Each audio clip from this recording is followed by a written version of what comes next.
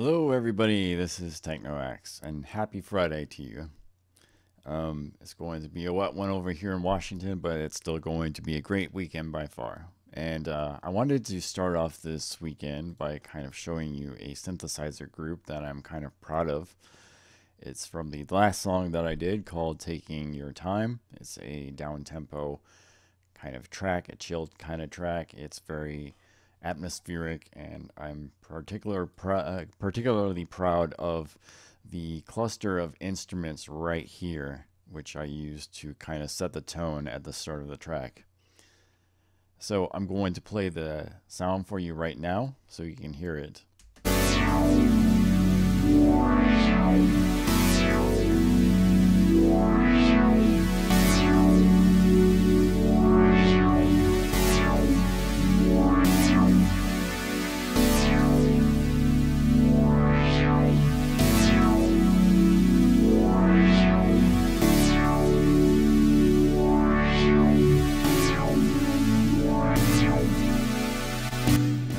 So that is the riff right there.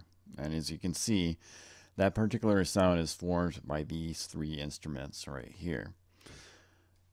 So I used an instrument called Spire to complete this track. And Spire is kind of like Serum and Europa and Massive in that it's a wavetable synthesizer. Although, unlike those synthesizers, this one is more atmospheric. It's meant to be in the back of your track instead of like Serum or Europa, which those synthesizers are in your face. It's very in front of the mix, at least to start with. And with this particular one, um, if you see me do a lot of synthwave, especially lately, this this synthesizer has been ex ex exponentially helpful in helping me basically set the tone for those kind of kinds of tracks. So you if you want to do synthwave, I definitely recommend this synthesizer. It's not required, but it helps a lot and is is is basically the perfect synthesizer for the job. It costs about $199, but if you can afford this kind of thing, I de- and you know, I, I would not ask for that money back because it's it's perfect. It does what I need it to do, and um, you know the sounds that it it makes is perfect for the kind of genres that's you know synth wave um, is for.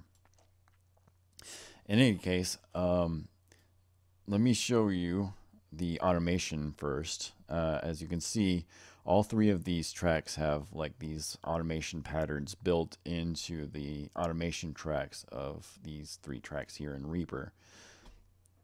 And those automation tracks control this wheel right here. Um, you can control basically literally everything about this synthesizer in these automation tracks by kind of like setting the automation here. But as you can see, that's a lot of stuff to go through and so I really only needed to do one um, uh, parameter, but it was just easy to mark the mod wheel as the thing that I wanted to automate it. And uh, the reason why this is good is then you can actually use the mod wheel right here into your matrix to basically perform the automation. And as you can see, I only did one parameter here on this particular particular synth, but um, uh, you can also select up to four different um, automation uh, triggers to basically control using just this one mod. And if you really want to get um, insane, if you want to control a bunch of different things using the same thing, you can basically just select uh, mod 1 right here on your second track, your second slot here, and um, uh, you can basically um, automate as much as you want. So that's like four here, four here. And then the crazy thing is you've got like five different pages that you can basically set up um, automation with if you really wanted to be that advanced. I haven't figured out why I would need to be that advanced, but some people are smarter than I am in this respect. So in any case, this one right here is the first instrument. instrument. I'm going to basically solo it out for you so you can hear what's going on.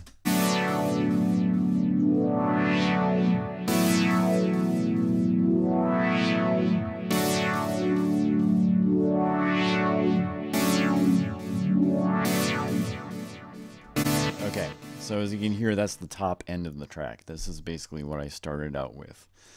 Um, and the reason uh, why I usually start out with the top of a synthesizer kind of combination here, and I work my way lower to kind of like fill out the lower end when I need to. And as you can see, the waveform here is kind of a combination between um, uh, a classic saw wave, which is basically you can see it kind of goes up like a saw wave. But also, as you can see, it's tempered a little bit by this violin waveform right here.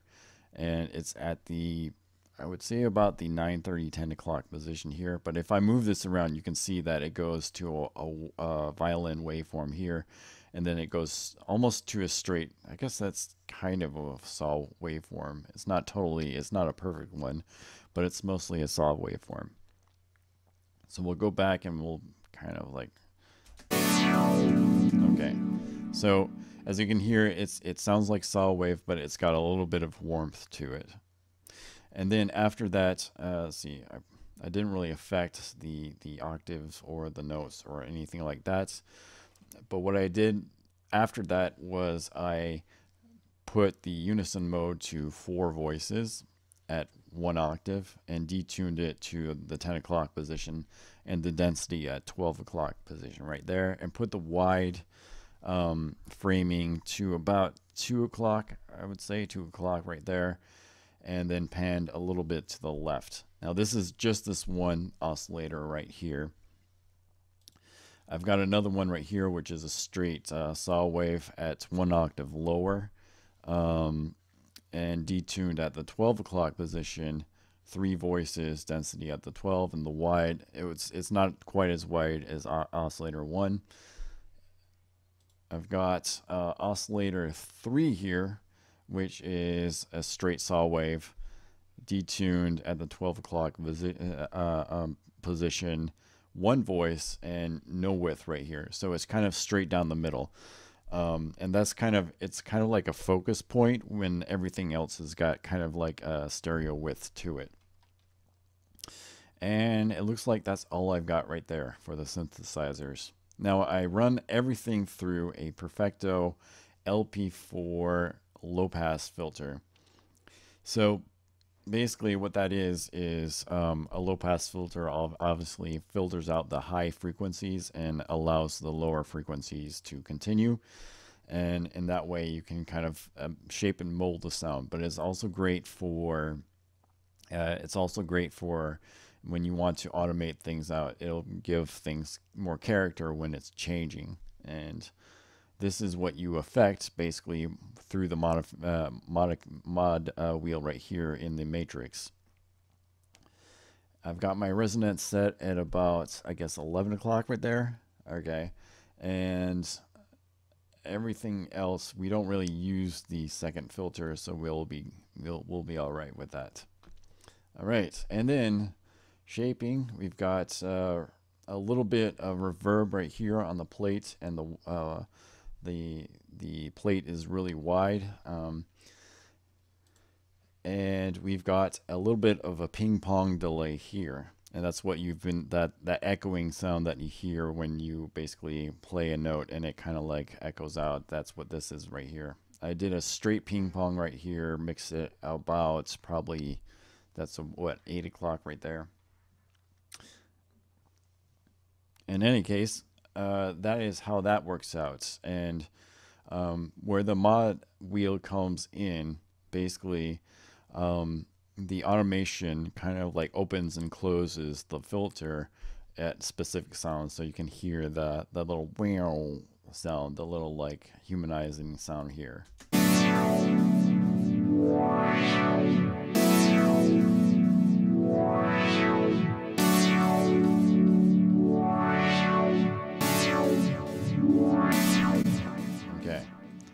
Now, after I made that tra uh, track, I decided that I needed a little bit more low ends. And um, the way to do that, uh, I tried to um, basically lift over all the chords from here and put it down here, but I found that the mix was uh too muddy. I didn't like the muddiness, so instead I opted for just the low notes instead. So I did this.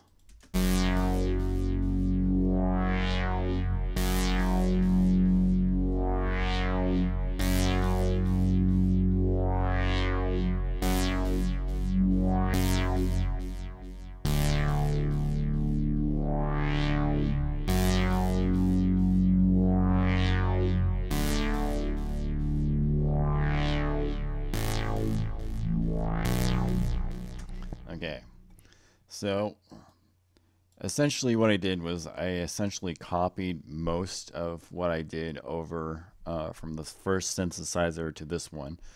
The only difference is I added in oscillator 4 here, and basically what that was is I added a classic sine to kind of add to the low end there. And uh, the sine wave is essentially what you use if you want to do kind of a low bass, uh, sub bass sound a straight sine wave will do that every single time, and you will not be sorry if you use that in your mix. Even with rock tracks, uh, I mentioned this before in a video, but uh, when I do um, rock and heavy metal, a lot of times I find myself, well, pretty much every time I find myself backing up the bass guitar with a sine wave, and that helps a lot with the low end, even on rock tracks. In any case, when you get that and you mix those two things together, you get this.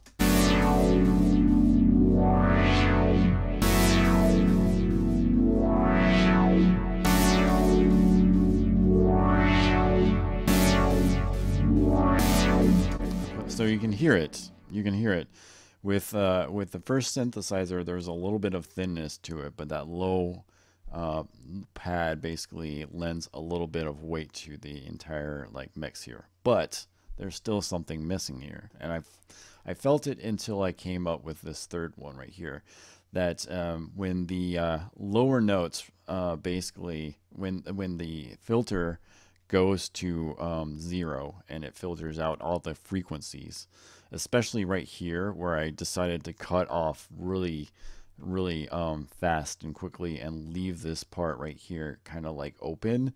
Um, it left a space where I felt I needed it to be filled. And I was really tempted to um, do basically something that was a different note. Um, something that was basically kind of like a little like flutter or a, a little like, kind of like fill or something like that to fill that up. But eventually, what I decided to do was kind of utilize something else to back it up. And this is where this synthesizer comes in right here.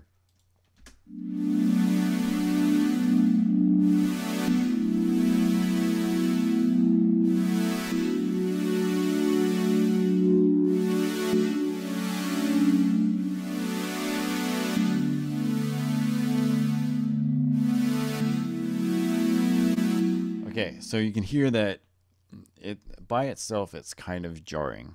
And that is because it's not meant to be in the front of the mix. It's meant to back up these two synthesizers up here. Um, and that's why when you hear those little like really jarring kind of like transitions between uh, the low notes to back up to the high note it sounds jarring right there. But combined with this, you don't really notice that jarring transition because these two synthesizers right here basically make up for that and you don't hear that kind of like sudden jarring like transition between zero and this this value right here. So we've got this instance of Spire, which uh, utilizes the same automation as the previous two. Uh, only this one um, there is really only one uh, oscillator that I'm using, and I have four voices. It's basically um, kind of uh, it's essentially a, a, saw wave right here, and I've got uh, the detune here on the unison mode to about 12 o'clock here, the density to about 12 o'clock as well at octave one, really wide up to about I would say two two thirty right there, and um, no real filter input here. We don't want to. Uh, we haven't. I haven't really filtered this out, um, but uh, and this is essentially on the sine wave here. Uh, so when you um, when you activate this mix, Um, this is at what? That's probably the, I would say the seven o'clock position right there, seven, eight, eight o'clock position right there. As you um, turn the knob to the right, as you can see, there's uh, it's basically a, a sine wave that you get um, and that's the product of the mix between these two waveforms right here. So essentially, this is basically this waveform right here is your classic, um, you know, saws and, and, your your noise, your frequency mod modulations, and and stuff like and pulse width modulations as well. Whereas this is basically your um your um, uh, wavetable forms as well. You can still you can still choose um, your basic waveforms, but these are basic, very, very specific, and you can morph between the two basically.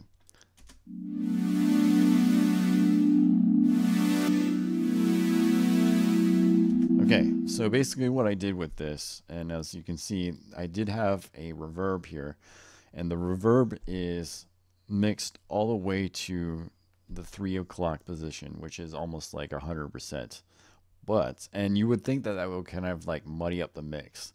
But I utilize both the wet mix and the dry wet of the um, of the wavetable here and the reverb to basically uh, get what I want in the matrix here. And as you can see, like the other synthesizers, we've got a source here on mod 1 and it's mixed to the trigger of the reverb dry wet right here.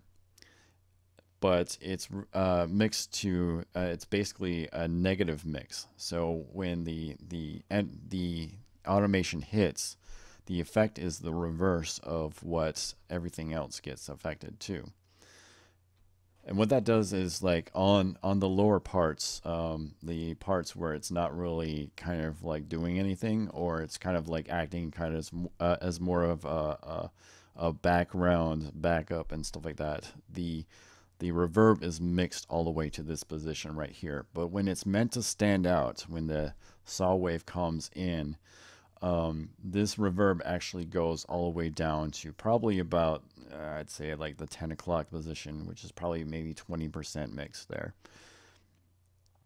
And then on this slot right here, we've got an oscillator, the oscillator wet mix right here. And basically when, um, when the, uh, uh, the, when I'm calling for it, basically this goes to the saw wave over here. And when I don't need it, or actually it goes to the sine wave right here, which is the more um, it's the more docile, like more uh, tame tone. And then when it's all the way to the left here, or the the left here, when uh, the automation is all the way at zero, um, this is the position where it's at, where it's at more or less the saw wave.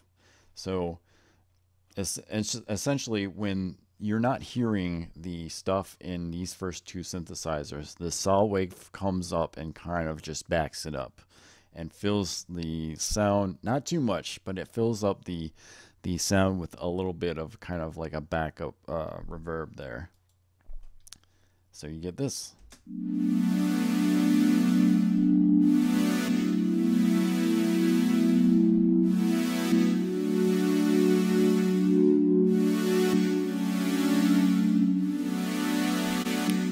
Okay. All right. So once again, when the mod wheel, when the mod knob right here is all the way to the left, your wet mix is all the way to the left, and you get the saw wave, which is the more buzzy kind of saw, sound and everything. And uh, the dry wet mix is all the way to the left, which is very, it's, it's very, um, it's it's uh, kind of like a, a, a very dry sound.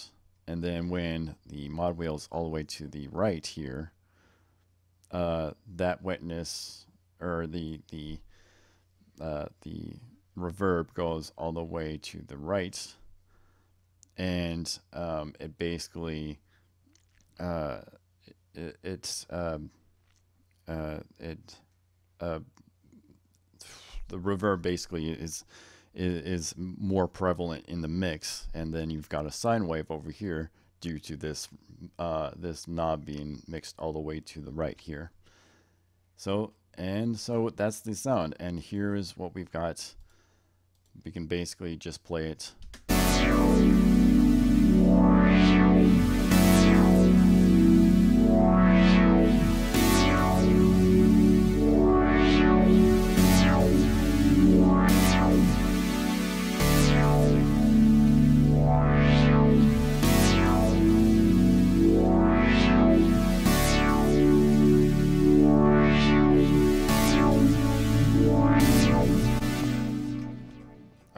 So that is my little show and tell here. I hope you guys enjoyed it. I'll be back with more music, of course, and I hope you guys have a great weekend. Have a nice day.